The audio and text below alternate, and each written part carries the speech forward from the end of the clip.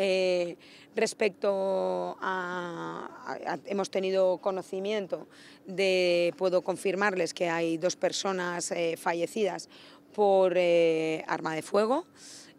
dos personas que son vecinos, dos, son dos varones vecinos de la localidad de Calpe, de viviendas diseminadas del término municipal de Calpe, que han aparecido los dos cadáveres en dos ubicaciones distintas por arma de fuego. No parece que haya ninguna otra persona eh, que esté implicada en este hecho, pero permítanme que no les puedo dar más información porque en este momento se está procediendo al levantamiento de los cadáveres por parte del juez con la, con la en este caso, eh, la Guardia Civil.